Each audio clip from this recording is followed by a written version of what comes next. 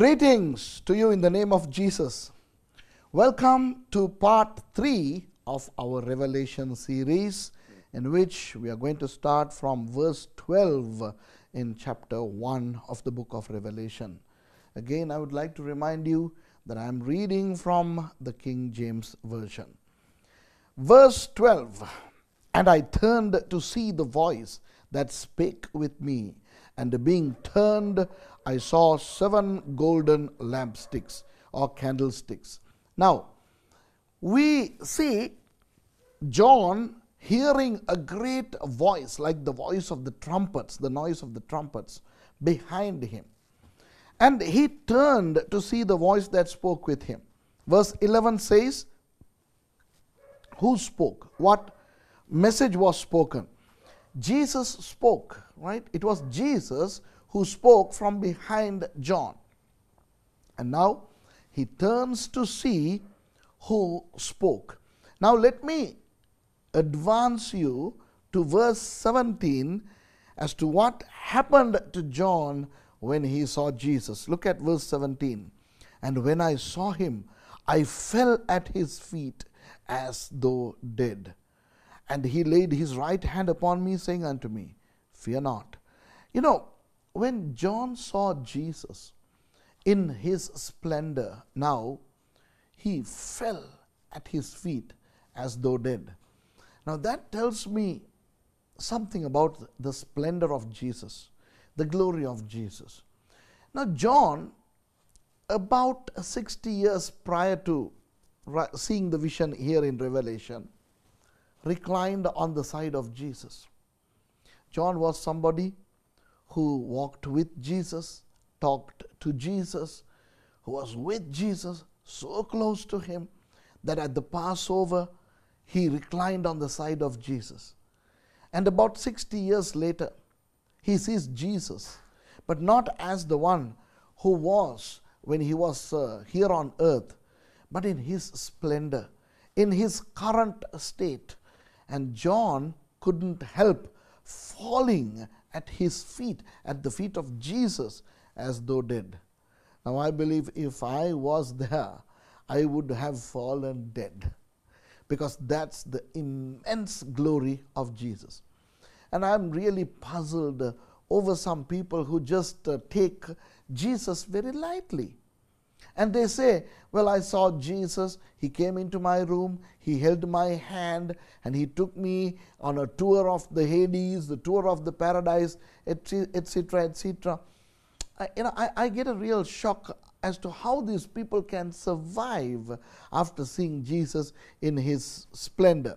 I believe, if at all anyone sees Jesus in a vision, that Jesus would reduce the splendor to be able to show himself to these people without making the people perish. Okay? Because Jesus is absolutely glorious. He is great, right? Anyway, now when John saw Jesus in Jesus' current uh, state, the way John describes Jesus symbolize, symbolizes a lot of things.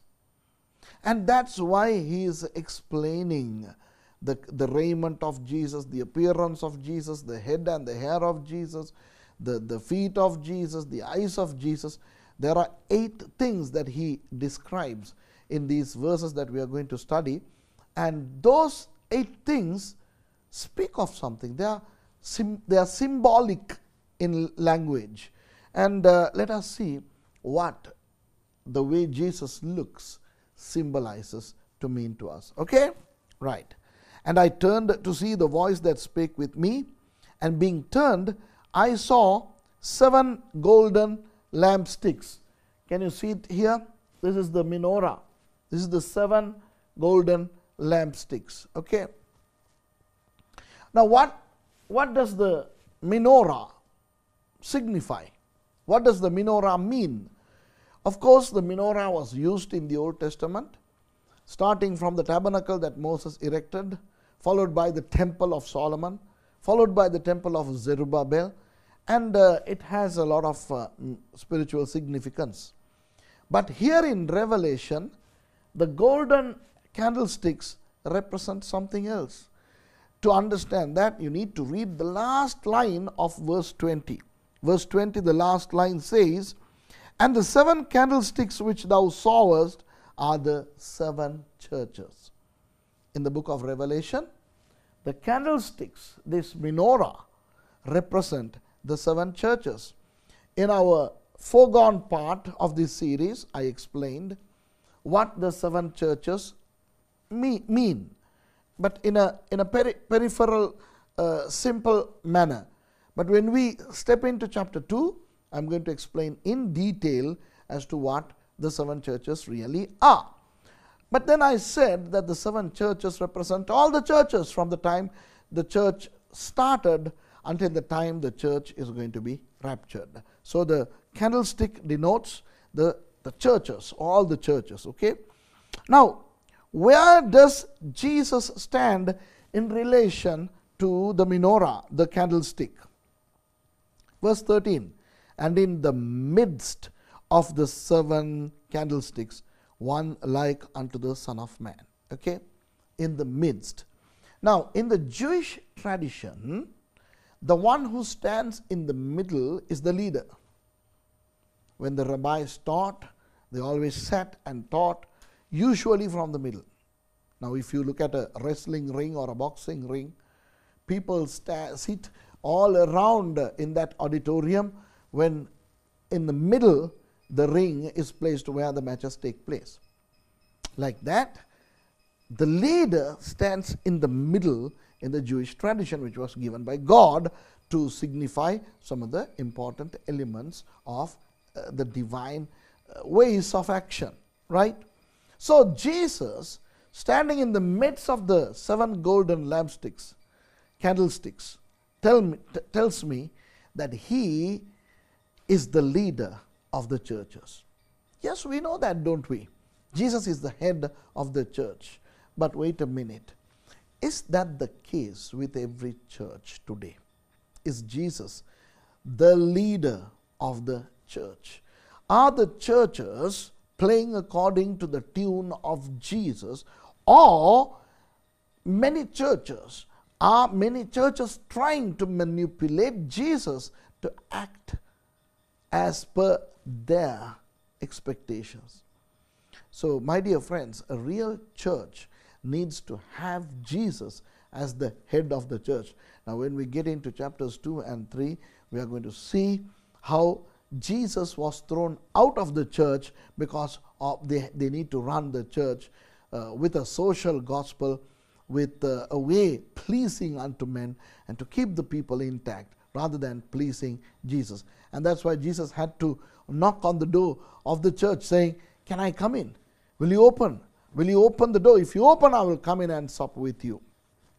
Anyway, when Jesus was seen by John, John sees Jesus standing right in the middle of the seven candlesticks, meaning that he stands as the leader, as the head of all the churches. Okay? Right. Now, why does John say, like unto the Son of Man? Like unto the Son of Man, for example, Jesus appeared as the Son of Man. Even in the Old Testament, if you see Daniel chapter 7, verses 13 to 14, and then if you see uh, Daniel chapter 10, verses 5 through to 10, you would see uh, the Christophany in the Old Testament. If Jesus appears, we call it Christophany. Appear, uh, the Christophany appears in which Jesus comes and is addressed as the Son of Man. Now, here, John says that Jesus looked like the Son of Man. Why didn't he say, I saw the Son of Man standing in the middle of the candlesticks? Because of his um, emotions. I'll explain. He saw Jesus, he recognized Jesus. Why? Because he was with Jesus, he was with the Son of Man. So he recognized Jesus. Nonetheless, he did not dare calling Jesus the Son of Man in a definitive sense, but he is leaving an abstract there. He's saying, like the Son of Man. Why? yes, this is the Son of Man, but the one I'm seeing is way more glorious than the Son of Man who I used to walk with, whose side I reclined. So now Jesus, yes, this is Jesus, but but but let me be on safe grounds by saying like the Son of Man rather than saying the Son of Man. Okay, he's playing playing uh, safely. So he's saying Jesus is more glorious now to call him the Son of Man. So he adds the, the like bit and he says, like unto the Son of Man. Are you with me? Okay. Now, clothed with a garment down to the foot. Clothed with the garment down to the foot. What's this garment? This was none other than the garment of the high priest in the order of Melchizedek. Now we must understand that there are two orders of priesthood. Number one, Melchizedek's order of priesthood, and number two, the Aaronic or the Levitical order of priesthood.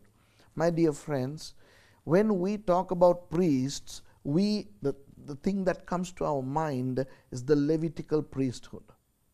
Moses appointed Aaron, of course, God told Moses to appoint Aaron as the high priest, and the two sons of Aaron as priests, and ever since the tribe of Levi became the priestly tribe. The every Levite was a possible priest. And if somebody descended from the Aaronic line, lineage, then they can qualify to become the, the high priest. But there existed a form of priesthood long before the origin of the Hebrews. And we know that was Melchizedek. In Genesis chapter 14, we are introduced to a character called Melchizedek. When Abraham went and rescued Lot and uh, the three kings from, from the enemies, Melchizedek went and met Abraham and gave Abraham bread and wine. And in turn, Abraham tithed his tithe to Melchizedek. Melchizedek is called the king of Shalom, and he was the high priest of God at that time, long before the Hebrews originated, long before the tribe of Levi came into existence, long before the order of Levitical priesthood was appointed. Okay? Now, if you read Hebrews chapters 6, 7, and 8, you would see that the high priesthood of Jesus stems from Melchizedek, not Aaron. That is why we who are Gentiles, who do not belong to the tribe of Levi, we are not Jews, but we are priests because our high priest, Jesus, is the high priest in the order of Melchizedek, not Aaron. That is why we, who are Gentiles, who do not belong to the tribe of Levi, we are not Jews, but we are priests because our high priest, Jesus, is the high priest in the order of Melchizedek. Now, as a Jewish man, the Son of Man, Jesus, could not have played the role of a priest because he did not come in the tribe of Levi. But he could play the role of a king because he came from the kingly tribe of Judah and especially from the lineage of David. So, humanly speaking, the human Jesus could be only the king because he came in the tribe of Judah. That is why he's called the lion of the tribe of Judah. But the Son of Man, the human Jesus, could not be called the priest because he did not come from the tribe of Levi.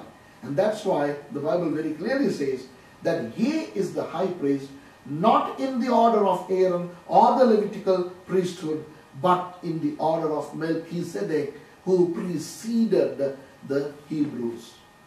Therefore, we, the Gentiles, are able to be priests. We are a royal priesthood, right? Peter says. We are a chosen generation. We are a royal priesthood. How did we become a royal priesthood? by having Jesus, the high priest in the order of Melchizedek, we the Gentiles are able to be priests under this high priest.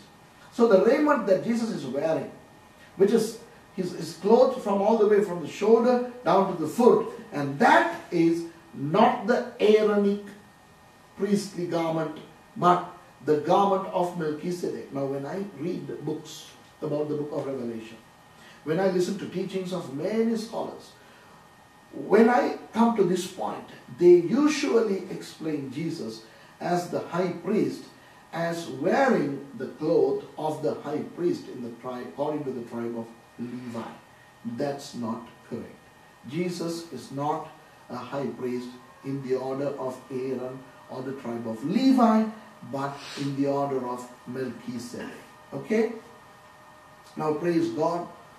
Because of Jesus being the high priest, we are able to enter into the Holy of Holies ever since Jesus died on the cross. Remember, when Jesus died on the cross, the veil that separated the Holy of Holies from the holy place in the temple was torn into two, meaning there is no more veil to the, the Holy of Holies through Jesus, the high priest in the order of Melchizedek. We can now enter into the very presence of God, into the Holy of Holies, right? A girt about the paps with a golden girdle. Girt about the paps with a golden girdle. Now, what is what does that mean? Now, there, there, there used to be a tradition in the old Jewish world. Now, many people have forgotten this tradition. Unfortunately, I have spoken to some Jews even some Jews, most of the Jews even have forgotten this beautiful tradition they once had. A long, long time ago, when somebody wanted to be a big shot in the village, he will have to fight an animal in the presence of people and win that animal or control that animal. And he can have an animal of his choice, but not a deer or a rabbit, not a harmless animal, some strong animal. Perhaps um, maybe a lion, maybe a tiger, maybe a bear, maybe a bull. Usually it was a bull, right? Now, if somebody, having got all these people witness what's happening there in a theater-like place, if this person manages to control a, a, a bull or a he goat, right? Or sometimes uh, perhaps a, a tiger, a leopard, or even a lion, then that person becomes, becomes a hero. He is girded with a breastplate, right? Usually made with bronze or sometimes silver, right? To show the people that he has won over a beast. And if that person came from a royal family, then he can choose to have a golden sash instead of a bronze or a silver one because he is royalty. Now that is why Jesus is wearing a breastplate here and this is a golden one because Jesus is not only a king but he is the king of kings, right? Now he wears the golden sash around his breast is because he won the most vicious, terrible, strongest beast that is available on earth, namely Satan. The Satan is also a beast, right? Now, Jesus doesn't need to control an ox, a, a, a bull, a, a, tiger, a lion, because they were mere animals. Anybody, any big shot could do that. But nobody could control or defeat Satan but Jesus. And Jesus defeated Satan on the cross. My dear friends, Satan is a defeated foe. If he is showing any power, if he is demonstrating any power that is a broken power, Jesus broke the power of Satan. But if people don't accept Jesus and the power of Jesus that broke and nullified the power of uh, the devil completely, they will be defeated under Satan. The Satan could defeat them. But we praise God that our high priest, Jesus, has won the beast called Satan and he is wearing the golden sash around his chest. Okay? Praise God for that glorious victory. Jesus did not just win over sin, but also the devil. Now, verse 14 His head and his hairs were white like wool, as white as snow. His head was white and his hair was white. What are the symbolical expressions to this? Head. Head denotes righteousness. His head is the chief place of a human body. And Jesus' head is white. Why? Because he is complete in righteousness. Jesus is the Lord of righteousness. There is no blemish in him. There is no sin in him. There is no weakness in him. He is omnipotent. He is all powerful. Okay? So his head being white shows that he is complete in righteousness. But it's not just righteousness, it also signifies holiness. It shows holiness. And my dear friends, Jesus is holy. Now, when we talk about holiness, many people erroneously interpret holiness to be a form of cleanliness. I don't see cleanliness within holiness. God is clean, okay? Whether he's righteous, whether he's holy, whether he's immutable, whatever, he is clean. So by using the term holy, we don't need to show that God is clean. He is clean anyway. Holiness is something else. The Hebrew word for holiness, kadosh, and the uh, Greek word for holiness, hagios. Kadosh in Greek, the Hebrew, and hagios in Greek means something entirely different. I'll tell you what that is. Being separated, being unique, being staying away from everything. So Jesus is holy in that he is not mixed with anything or anyone. He is alone. Of course, we know the Trinity the Father, Son, and the Holy Spirit. All three persons are holy. They are united. They are in essence and substance united. I'm not here to talk about Trinity. That's not within the scope of my uh, teaching. But what I would like to say is that yes, the Father, Son, and the Holy Spirit, they are always together. They are one. Although they are three persons, we're talking about one God, not three gods. But we, we, we talk of them as holy, set apart, staying away from anything else. Jesus is seen here as holy because his head is as white as snow. Being alone, lifted above everything, standing aloft, standing up high, not mingled, not mixed with anything or anyone. That is why when, when, when, the Bible says, Be ye holy as I am holy, God is saying, Look, I'm not amalgamated with anything. I'm not mixed with anything. I'm separated. I am alone. So you also be separated from the world and be separated unto me. That's holiness. That's kadosh. That's hagios. Okay.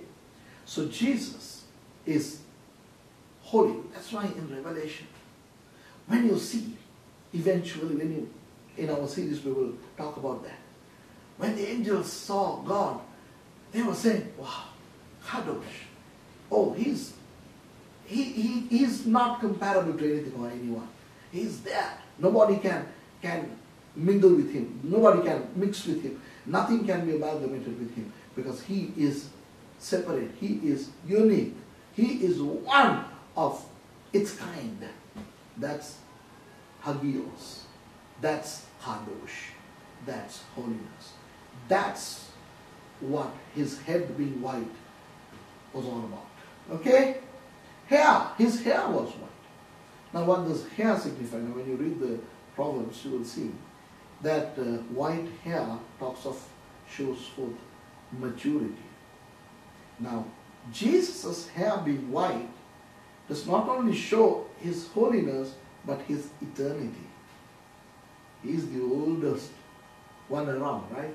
Because he has no beginning, he has no ending. He has been there in the eternal past. So there is no commencement to our Lord. Now, when you look at other gods in religions, all those gods came into existence at some point. But Jesus never had an origin. He is the oldest of all. Okay?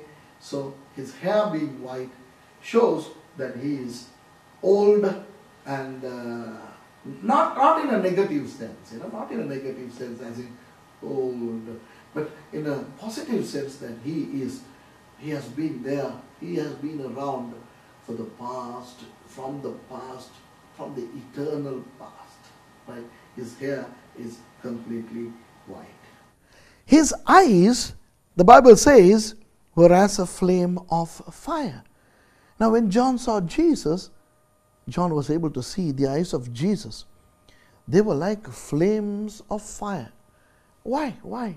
There is a symbolical meaning to this, my dear friends. Jesus was really angry. You know, fire in the eyes show metaphorically that the person is really mad at something. Now I see the Jesus who John saw was not happy. He was not sad, but he was angry. He was upset over something.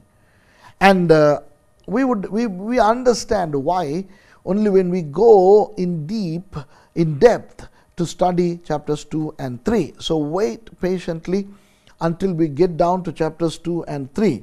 But at this moment, I want to just tell you that Jesus was upset not about anything but about the church. He was standing right in the middle of the uh, menorah, the candlesticks, and uh, he was very indignant over the church. Now, uh, some scholars would say that uh, here Jesus was indignant uh, due to the sins of the world. But uh, when we look at the Gospels, we see that Jesus was passionate when he saw the sinful people. He was not angry over sinners, he was compassionate over sinners. Remember in uh, uh, Luke when Jesus sent uh, the, the, the people, uh, the disciples two by two, he said, Look, the harvest is plenty, laborers are few. Pray to the Father of the harvest to send more laborers. So, he was actually passionate. He was uh, compassionate about uh, the sins of the world. He was not necessarily indignant over the sins of the world.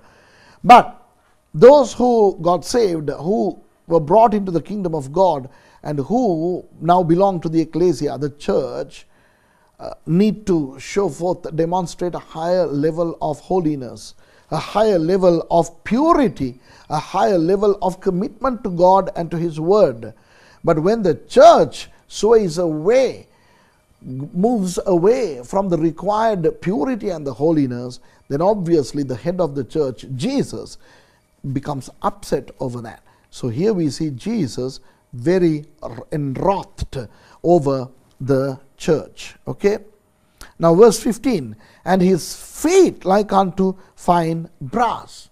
Now, brass or bronze is to be interpreted as judgment because by looking at the Old Testament, we see that bronze or brass was used in the altar in the temple and the tabernacle. Now, what does what happens on the altar? The, the animal that is slaughtered is placed upon the altar and offered as a sacrifice. So, the altar is a place of judgment. When an animal is killed, when an animal, animal is offered as a sacrifice, that is judgment. Of course, the animal bore the sins of the people who offered that animal. So, the judgment for sin was on that altar. And we know when Moses erected uh, the tabernacle, And when uh, Solomon erected the temple, the altars were covered with bronze. So, bronze in the Old Testament denote judgment. So, here Jesus' feet are of bronze. And Jesus' feet, therefore, mean judgment. In other words, when Jesus is angry, when his eyes are like blazing fire, over the church, the judgment of Jesus to the church is given by his foot. Now, if the judgment was in his hands, the hand can spank, slap, and embrace. But if the judgment is in the foot, it can merely kick but cannot embrace. Are you with me? So, during the last days, now we are talking about uh, the book of Revelation, okay? In the eschatological sense of judgment, when Jesus judges the church, if the church, our church is you and I, right? We are the church. It's not a building, it's not a denomination. When Jesus judges the church eventually, not now, but in the end, he is going to carry the judgment on his feet, not anywhere else. Meaning, when he judges, that's it, there is no time for repentance. We right now are living in the period of grace when we have the time to repent. Now, right now, we have the time to repent. Right now, we have the time to check our lives against the scriptures and put things right. But there comes a day the day of judgment, when there will be no time to change, there will be no time to repent, there will be no time to explain things to God, but He judges with His feet. And I believe that if we are not faithful to the end, then we saved Christians are also doomed. Okay, let's, let's read further. His voice as the sound of many waters. He heard, John heard the, the, the Lord speak from behind, and that's why he turned. Now he is saying the sound of Jesus is like many, the sound of many waters, like a huge waterfall. Now we are talking about uh, John in the first century, and he, he was not aware, aware of uh, the artificial sounds that we are aware of, the heavy boosters, the heavy sounds uh, through amplifiers and speakers. John didn't know all those. For John, the loudest was a huge waterfall. Now, I didn't understand this until uh, I believe in 98, I think, in 1998, when I visited the Niagara Falls. Right? Some of you must have gone to the Niagara Falls. And uh, Mercy and I went to the Niagara Falls, right? And we took the boat Maid of the Mist, mist Maid of the Mist and uh, they give you the raincoats that you have to wear and then you have to go on that boat the boat goes all the way near uh, the near where the water is falling okay now both of us were on the boat uh, in the front enjoying niagara falls and uh, at one point i looked up and i saw a flight and i remembered something about uh, two years prior to that i believe no, four years prior to that. Because this was 96 or 98. But in 94, when Mercy and I flew to Canada on Air Canada, we were flying to Calgary from Manchester, England. Uh, because it was Air Canada, the pilot, the Canadian pilot, was very proud to show the Niagara Falls, and he announced uh, he sort of uh, brought the plane down uh, to um, a few thousand uh, feet lower, and he said uh, he told the passengers to look out the window first on the through the left and then through the right. And he said, What you see down is the world's largest waterfall, which is the Niagara Falls, and it's shared by both the United States and Canada. And that's um, a great thing that we have in our country. He was very proud about that. And when I looked from up high, when I looked at uh, the Niagara Falls, oh, it was so gorgeous, absolutely beautiful. It was a clear day, cloudless day, wonderful. And uh, I, I just said, Lord, take, take me there one day. And uh, I had forgotten all about it, but uh, four years later, yeah, that was in 98, uh, the Lord graciously took both of us to that very place, and, and there was I on that boat called the Maid of the Mist and uh, then I looked up and I saw a flight, and then I remembered, wow, four years ago I prayed from up there for God to take me, and now God has brought me here. To remind Mercy of what happened four years ago and how God has brought us here, I told Mercy, look up, look up, look at the flight. Remember, and, and I was so close to Mercy and I was yelling, I was screaming to tell her, but she couldn't hear. Why? Because the sound of the water was so loud. What I spoke was not heard by Mercy, and she was she was saying something I couldn't hear. And I, I, I, I began to scream in her ears. Even then, she didn't uh, hear. That that was when I really understood what John meant by when he said the sound of waters. Because up until that point, yes, I had been to waterfalls in Sri Lanka, I had seen the sound of waters, but I never realized that the sound of waters can submerge the voice of a human to zero, absolute zero, that you cannot talk to somebody else so close to you, even when you yell at their ears. Boy, and that's exactly what our John is saying here because he's saying, when Jesus at the judgment day, when he judges the church, when he is going to judge the church with uh, his foot, he is not just going to judge them, but he is going to tell them why he judges them. He is going to tell them how they disobeyed the scriptures. And his voice is going to be so loud that nobody could outspeak his voice. Nobody could explain to him, Well, Lord, you know, this is why I did, this is why I said like that. Today, the voice of those who commit uh, errors knowingly is very loud.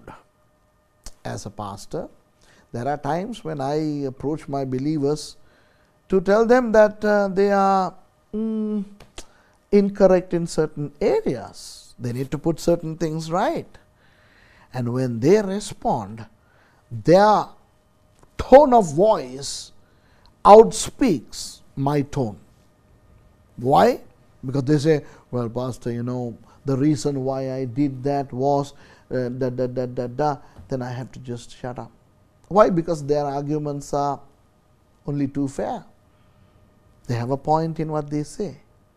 So today on the earth, we can explain ourselves away to other humans, to our leaders, to others. If somebody points out, hey, you are not obeying the word in this, this, this, these areas, we can easily explain the things out and we can uh, we can um, get away with it. But the day is coming when the Lord is going to tell us that we have deliberately disobeyed the word of God. And at that point, we will find ourselves unable to explain it out, to get away with it, because the sound of Jesus would be so loud, it cannot be out spoken. I believe you understand what I'm trying to say. So it is better for us to not wait for that day, but starting from now, read the Bible, correct ourselves, put things right. Verse 16 And he had in his right hand seven stars. Now, let's go to verse 20 again to understand the meaning of the seven stars, because in verse 20 we saw that the seven candlesticks, the menorah, represented the churches. Now, in the same verse, it says in the middle, middle part of the verse, verse 20, the seven stars are the angels of the seven churches. Now, don't think now many people uh, go uh, too much into this and they say that uh, these are talking about angels. But angeloi, angels, don't necessarily need to mean the celestial beings, but here within context it talks about the pastors of the church, churches, pastors who are shepherds. Of course, we all are sheep. When we become Christians, we become sheep. Our good shepherd is Jesus. But in his system, he has appointed some as human shepherds, pastors, to lead the flock. They have to lead, feed, protect, and guide the church.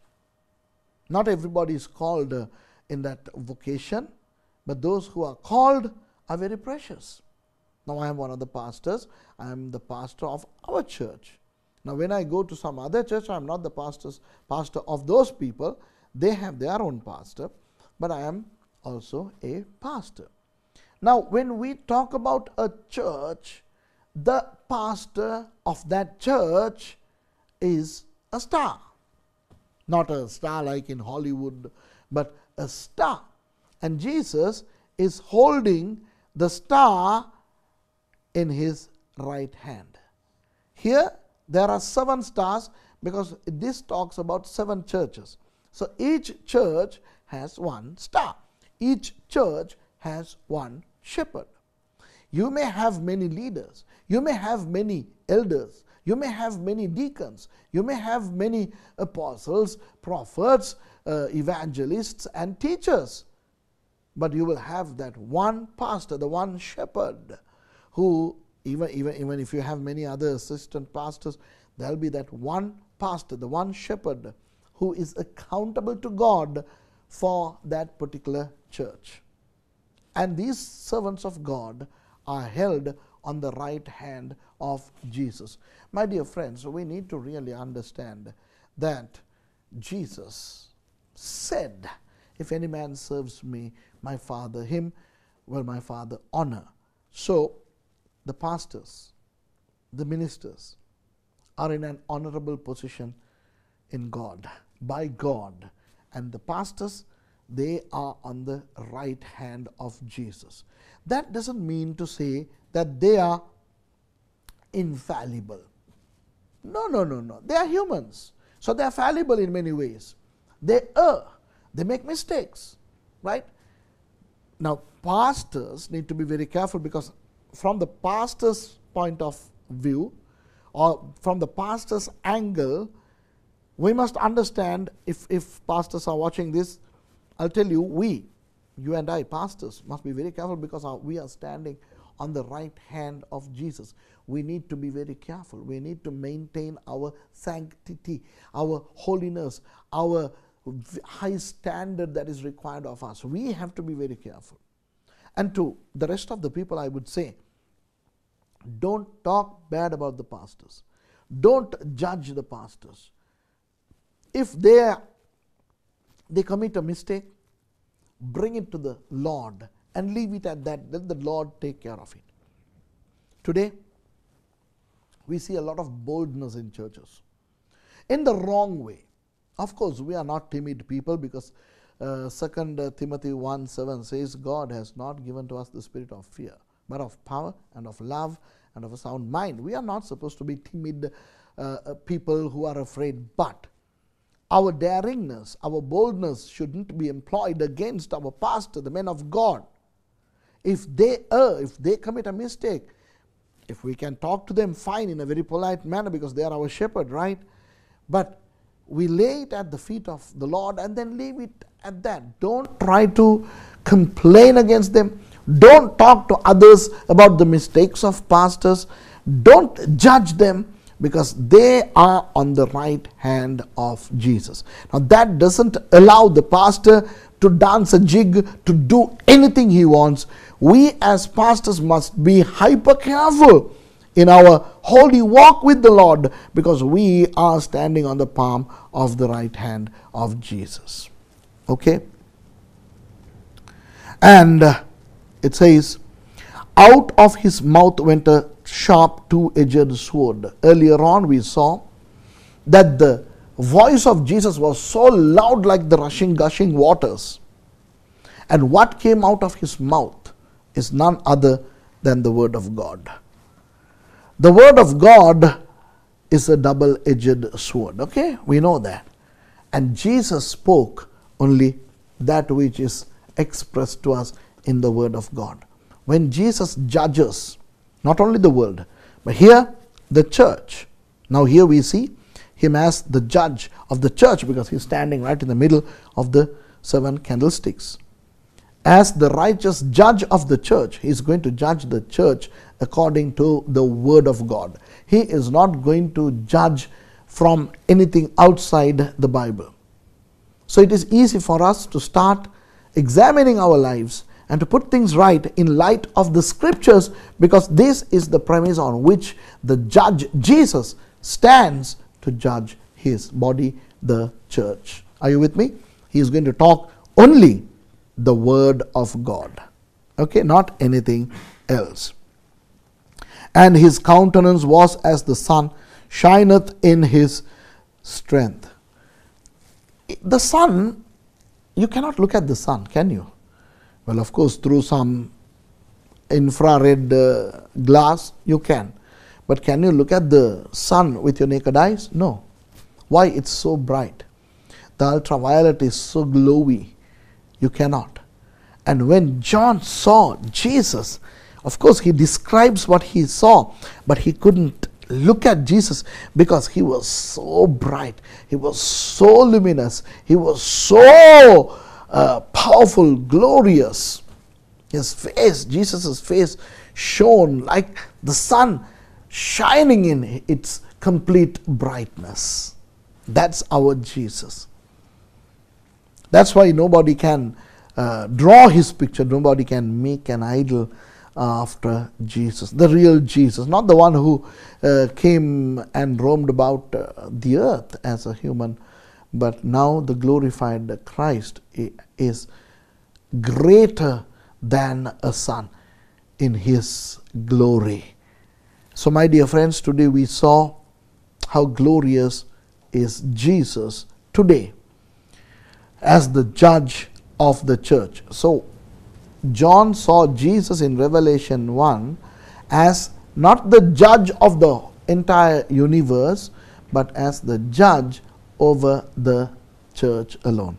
And that's why verse 17 says, And when I saw him, I fell at his feet as dead. And he laid his right hand upon me, saying unto me, Fear not, I am the first and the last. Wow, what a privilege did John receive to have Jesus touch him in his glory and say, Fear not, I am the first and the last. I am he that liveth and was dead. I was dead, yeah. And behold, I am alive forevermore. Amen. And have the keys of hell and of death. Jesus has all rights over hell and death. He decides who is going to end up in hell and who is going to end up in the second death. And he goes on to talk to John, saying in verse 19, Write the things which thou hast seen, and the things which are, and the things which shall be hereafter. Okay. What the book of Revelation uh, contains, of course, we, we discussed it in our previous uh, segment of this series, but uh, things that John had seen in the past. So there are things in the book of Revelation pertaining to the past of John, what John saw. John saw how uh, Jerusalem fell to the Romans in AD 70. And uh, John saw the persecution of Christians under the Roman Empire. And John saw the turmoil that happened within the Roman Empire. There are things that we are going to discuss in the book of Revelation that John saw in his life. Okay? So Jesus says there are things that you are going to see. And also by, by way of visions, God gave John visions and Jesus is now saying, You will write what you have seen, not only in your life, There are things that you saw in your life that I want you to write, but also from the visions that I give you, you need to write some of those things. And the things which are the present, the current, relating to AD 100. And I'm going to explain that in chapters 2 and 3 when we talk about the seven churches in Asia, Asia Minor. So, John was not, not only going to write certain things from the past, but also from the present to him, okay? And then uh, the things which shall be hereafter, things that are going to happen in the future. So, my dear friends, now if, if, if John is standing here, he is supposed to write certain things from, say, his past that he saw, and the things during the days of John, okay, and the things that were going to. So, the book of Revelation contains uh, the past, not, not, not too much into the past, but a little bit of the past, then of the present, but a lot about the future. As I said in our very first part of this series, that the book of Revelation talks about from the start of the church to the rapture within the first three chapters, and from chapter 4 all the way to chapter, chapter 22, the things that happen in heaven and on earth from after the rapture of the church. Now that's what Jesus is talking about in verse 19. And verse 20, of course, we saw the mystery of the seven stars which thou sawest in my right hand, and the seven golden, golden candlesticks. The seven stars are the angels of the seven churches, and the seven candlesticks which thou sawest are the seven churches that we have already seen. So, my dear friends, within three parts of this series, we have covered chapter 1. Okay? In our first series, we saw verses 1, 2, and 3.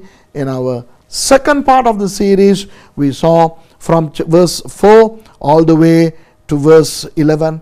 And today, in our third part, we saw from verse 12 to 20. And with that, we have completed chapter 1 of Revelation. And in our fourth part, that's the next one, we are going to start to look at the churches in chapter 2 and in chapter 3. So, my dear friends, we know that Jesus, the righteous judge of the church, is waiting to judge the church in the future. But let's examine our lives against the Word of God and uh, uh, live according to the word of God, lest we are judged with the feet of Jesus. May God bless you. See you next time with chapter 2 of Revelation.